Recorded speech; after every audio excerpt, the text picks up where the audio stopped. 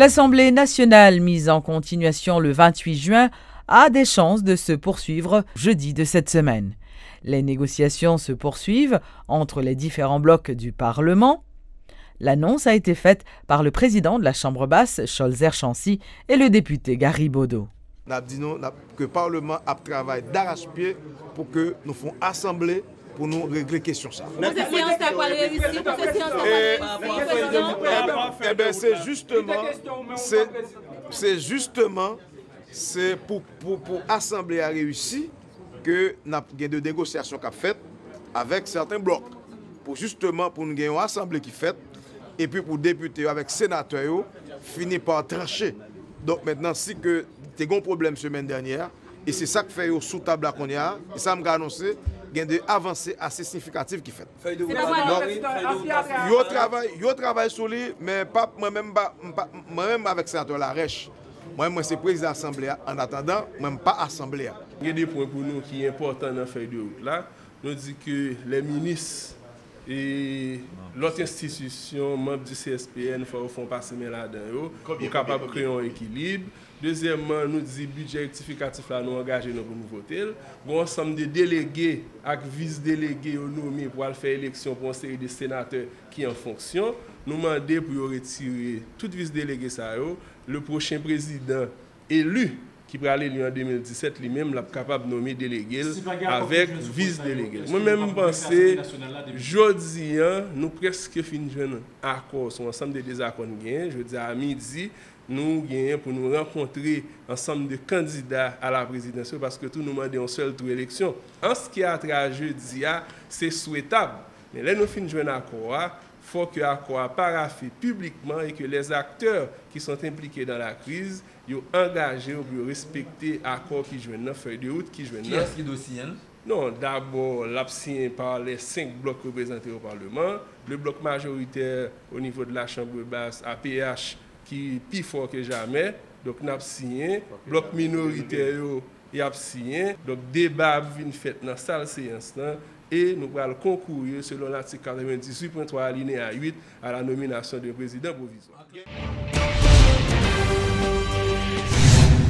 L'ancien directeur général de la police nationale, Mario André-Sol, dénonce la politisation de l'institution policière, ce qui, selon lui, constitue un handicap majeur pour la sécurité.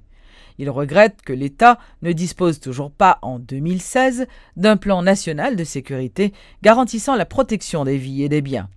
Et réagissant à la montée des actes de banditisme ces derniers jours, l'ancien chef de la PNH voit une liaison directe entre l'instabilité politique et l'insécurité. Pays, il des dirigeants qui constitutionnels. Il faut ait des qui légalement, je dire. Mais c'est flou. Tout le monde pas institution, je veux dire. La présidence en crise, le Parlement en crise, le judiciaire en crise, la police en crise, tout, tout côté en crise. Donc, pour les hommes, ça pas été là pour nous définir nous en tant que, pays. On pose problème, on pose Parce que ça ne va faire la couleur, tout ça ne va laisser faire qu'on y a là, en termes d'élection, venir un président a, c'est pas cosmétique, beaucoup ne pas poser. Mais je dis là, c'est comme si dans c'est moment, c'est dans le moment règlement de compte, c'est dans le moment tout, tout, tout, de problème. Mhm. Et très souvent, il y a politique. Ok. Vous pouvez même pas pour nous, on peut dire que machine dans e la chita et puis nous donnons la plaque Ok, oui, mais dans toute société organisée. Vous tournez sur les armes, vous parlez sur les armes qui circulent. Les armes qui circulent. Il y a moyen pour contrôler. Mais très souvent, c'est les policiers qui ont un problème pour contrôler. L'homme parlementaire, qu'on a avec des trois Galil, je ne sais pas. Entendez, vous avez là. Et Mbaldou, eh, il a créé sécurité même pour parlementaire lui-même, pour le capable, comme si, m'a mis tête lui. Hmm. Les par exemple, on est sorti, un nouveau parlementaire. Gen nèg an bak ap tan ni, ki tan ni kouni an konen nek sa bom pren bal pren an chaj. Li pren an chaj akon an gen teknik, li koul pren an chaj. Mhm. Li bin proposo tet li, li do mwen chaj, mwen gen zouti, dok mwen mwen ap bo sekurite. Ou mwen mwen pa avle koun an di gen la polis pou sa kouni an kote legal, e mwen mwen te avle di nèk ou sa lèm te chep polis.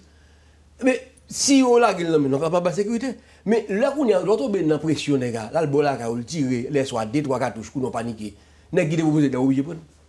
Mhm. Donc ça veut dire qu'on cercle vicieux. Et pour contrôler, bah, faire ça ne sont pas là. La police a compris à faire ça.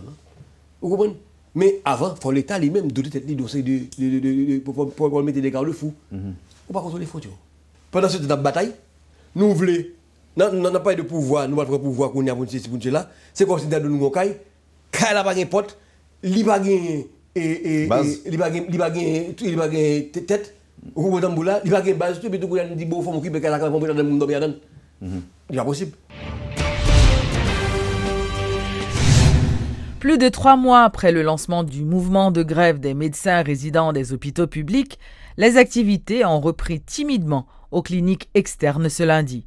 À l'hôpital général, une trentaine de patients ont été consultés par les médecins de service, mais les médecins grévistes parlent de solutions maquillées. Alors que les conséquences de près de quatre mois d'inactivité au plus grand centre hospitalier de la capitale deviennent de plus en plus pesantes, les autorités sanitaires ont tenté de réactiver les services ce lundi. Une solution maquillée, c'est l'avis des médecins protestataires. L'hôpital universitaire qui a fonctionné au niveau tertiaire, il fonctionnait avec résidents, médecins de service, internes, infirmières. Donc son package qui peut faire l'hôpital fonctionner. Un seul groupe pas capable de faire l'hôpital fonctionner pour compte les gens qui veulent faire là. Ouvrir clinique externe, c'est une solution maquillée liée. Là dans l'hôpital on monde qui vient qui malade et dans clinique externe qui méritait on suivi ou pas qu'à faire dans la clinique externe. Or, nous-mêmes, nous avons demandé que pour ça, y a carbone qui gagne pour ranger, pour fonctionner, pour gagner un train, pour recevoir maladie. Mais contrairement au point de vue de ce jeune résident, le directeur exécutif de l'hôpital de l'Université d'État d'Haïti y voit tout autrement. Pour le docteur Maurice Méville-Fils, les consultations réalisées ce lundi par les médecins de service est un pas important vers la reprise totale des services à l'hôpital. Ainsi en appelle-t-il à la collaboration des résidents. Et je dis à nous ouvert encore. Nous ouvert. Et contrairement à l'autre foyer, nous avons plus patients. Nous avons plus patients et les résidents ont font une expectative. Ils ont campé dans l'expectative, ils parlent perturbé, bien qu'en final, ils ont perturbé. Mais ça va empêcher que nous fonctionnions matin là. Et autour d'une trentaine de malades, ouais, matin. Nous n'avons pas ouvert tout l'hôpital là, c'est sûr. Nous commençons à cliquer externes. Semaine prochaine, très probablement, nous entrer dans l'urgence. Graduellement. Mais parallèlement, il faut que l'autorité continue à négocier avec les résidents, le comité interhospitalier résidents, sur question salaire. Parce que ce salaire a tout problème, non, oui. C'est la deuxième fois que les responsables à l'hôpital général tentent de réactiver les services. Ce lundi 11 juillet, ils se sont misés notamment sur la présence des agents de la police nationale, qui n'a pu pourtant empêcher les résidents de perturber la journée.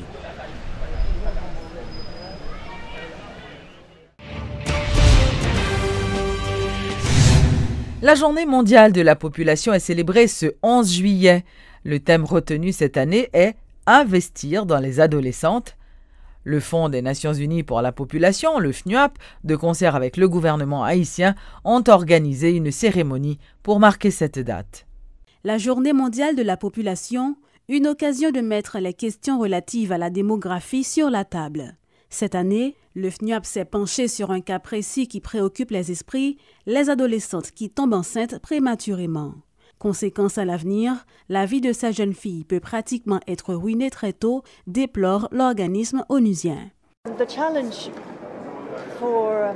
Le défi à présent pour le monde, c'est que s'agissant du corps de la femme, des fois, et on ne prend pas le temps d'être en contrôle de son corps, c'est-à-dire pour la fille adolescente, parce qu'elle peut en avoir honte, même pour soulever certaines questions, et des adultes par rapport aux idées reçues, par rapport à notre éducation, à notre culture. Donc il faut bousculer un certain nombre de barrières. Donc même pour nous adultes, il y a beaucoup de défis à surmonter. En Haïti, 11% des adolescentes ont déjà au moins un enfant à charge, selon des chiffres communiqués par le FNUAP. Une situation qui ne laisse pas indifférent le gouvernement haïtien.